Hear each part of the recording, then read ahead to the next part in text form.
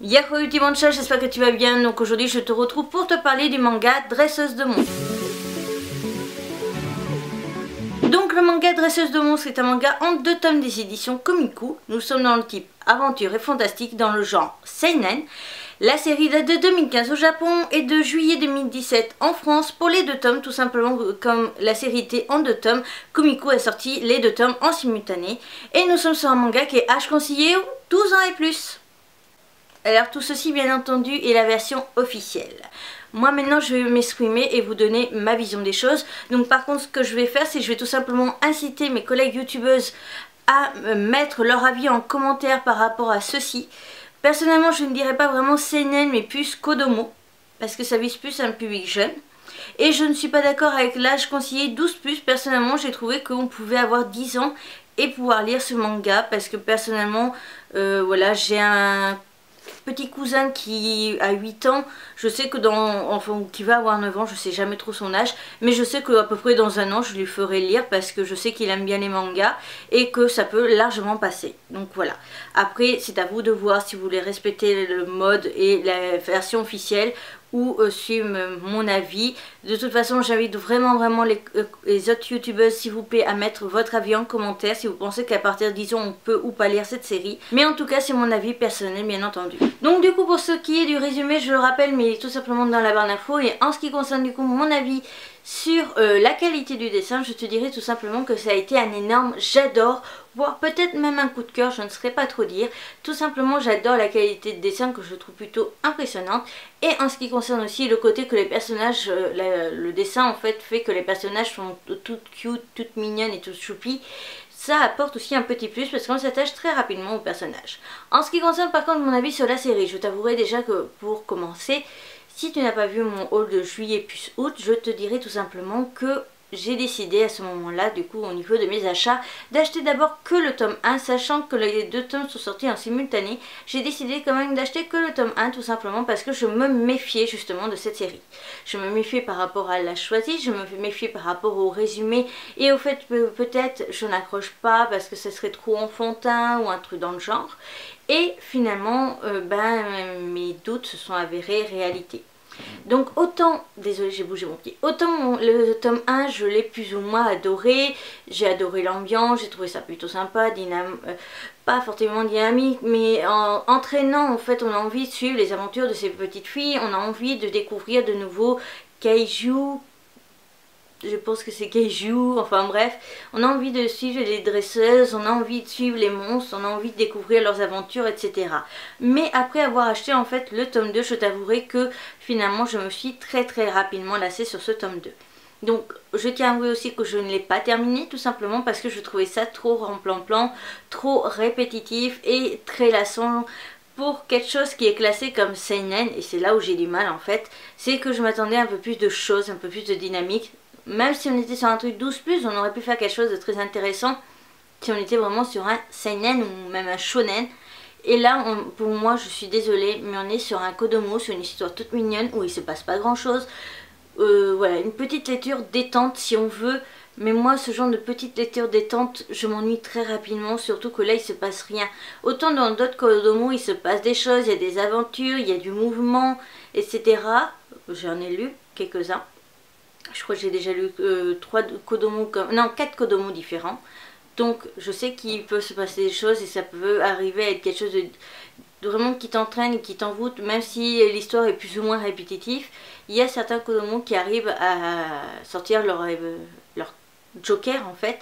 Et là, il n'y a pas de joker, il n'y a pas de carte euh, personnage, il n'y a que des chiffres au final.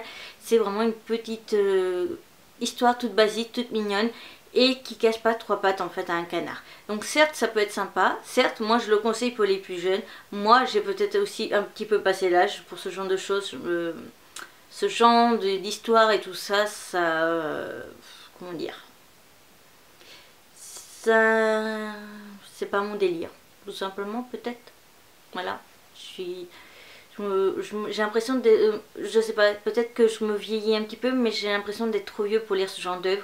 J'ai l'impression d'être euh, limite dépassée.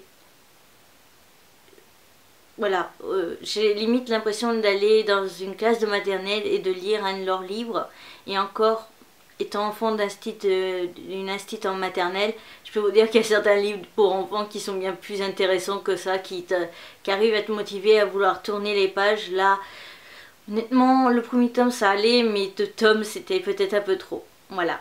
Donc j'espère que j'aurai suffisamment développé, que je t'aurai guidé. Si tu as moindre question, n'hésite pas. Après, au bout d'un an, ne me demande pas plus de questions, plus de détails, parce que je pense que j'aurais très rapidement oublié cette série. En ce qui concerne mon avis sur l'ensemble des couvertures, je te dirais tout simplement qu'on est sur un j'adore et on a failli passer sur le j'aime bien, mais sans plus. Donc en fait, en ce qui concerne les jaquettes, ce que l'on enlève, c'est un j'aime bien, mais sans plus. En fait, ce qui va relever la note, c'est l'intérieur, en fait, la couverture solide. Je sais jamais comment ça s'appelle, la couverture... Euh, carton en fait du bouquin lui-même euh, c'est celle-là qui va marquer vraiment des points et rien de plus donc en ce qui concerne la jaquette du tome 1 ce que j'aime en fait c'est le choix de l'illustration avec Blue donc qui est le monstre principal de l'histoire et ce que j'adore en fait c'est tout simplement que l'illustration se prolonge donc voilà, on peut voir les deux autres héroïnes qui sont un peu moins importantes, mais qui sont quand même tout aussi présentes dans l'histoire. Donc ça, j'aime bien le fait que justement l'image se poursuive, qu'on a les autres personnages euh, qui sont quand même très présents dans l'histoire mis à l'arrière. Ça, c'est un truc que j'ai récemment aussi présenté dans un autre manga. Euh, ça devait être... Ah oui, c'est pour le manga Bride of the Dead que logiquement j'aurais récemment présenté sur la chaîne. En ce qui concerne du coup l'intérieur de la jaquette, ce que j'ai bien aimé, c'est pas vraiment ce côté, mais ce côté-là, en fait, tout simplement parce qu'on a le sommaire. Alors certes, euh, quand on va dans certains dépôts des fois on retrouve les mangas sans la jaquette, donc du coup on perd la page de sommaire. Mais c'est vrai qu'en même temps, ça évite de gaspiller une feuille. Donc ça, c'est plutôt pas mal. À l'arrière, on va avoir juste tome 1, dresseuse de monstres, et par le nom du mangaka. Voilà. En ce qui concerne du coup qu'on enlève la jaquette, c'est là où ça devient très très très intéressant, surtout pour cette œuvre. C'est tout simplement qu'on a ceci. Alors qu'est-ce que c'est? C'est tout simplement quelques petits détails, informations par rapport au manga. Donc là en fait on va avoir tout simplement quelques détails. Qu'est-ce qu'un cajou? Donc les monstres. Euh, une petite définition en fait qu'est-ce qu'une dresseuse, la classification des cajous, donc euh, leur euh, niveau en fait de dangerosité et un autre mot aussi, voilà, on a une petite définition. Et ce que j'adore c'est tout simplement qu'à l'arrière on va nous présenter les trois kaiju, kaiju peut-être, que l'on rencontre du coup dans le manga. Donc on va avoir Blue.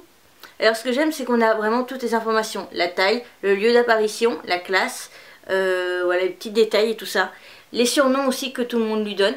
Comme ça, ça permet de se repérer. Donc après, on va avoir le caméléon. Le caméléon solitaire, c'est son surnom. Il te met baptisé ainsi par Tsukiko. Donc voilà. Et après, du coup, on a le poulpe s'appelle Fleur. Donc ça j'ai vraiment adoré, c'est ça qui a vraiment relevé la note du manga. C'était que c'était sur la couverture, c'était caché, etc. Donc ça j'aime bien. Après du coup l'illustration euh, quand on ouvre le manga, euh, bah, c'est celle qu'on avait du coup sur la jaquette. Donc ça j'aime bien.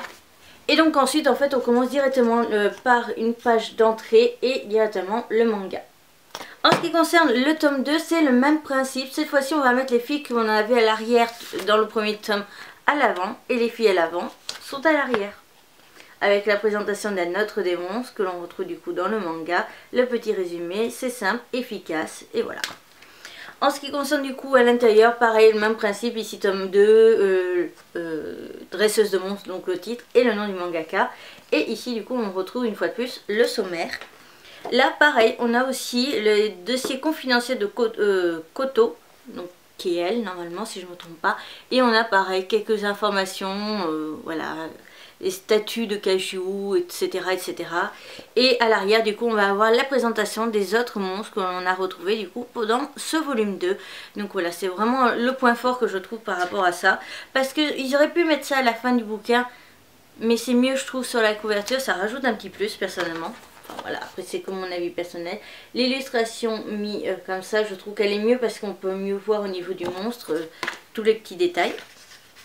Et on commence directement avec une page de sommaire et on attaque la série. La vidéo est à présent terminée, j'espère quand même qu'elle t'aura plu. Si c'est le cas, n'hésite surtout pas à mettre le petit pouce en l'air qui fait toujours plaisir. Pense surtout à aller t'abonner, c'est rapide, gratuit et ça prend vraiment deux secondes. Et n'oublie surtout pas d'activer la petite cloche si elle est toujours vivante, celle-là. En ce qui concerne du coup la vidéo, n'hésite pas du coup à me dire si toi tu l'as déjà lu, ce que toi tu en as pensé. N'hésite pas à me mettre en commentaire si je t'ai fait découvrir cette œuvre ou pas. Et si je t'ai aussi donné envie quand même de découvrir cette série ou pas du tout. Sur ce, je te retrouve bientôt pour une nouvelle vidéo. A bientôt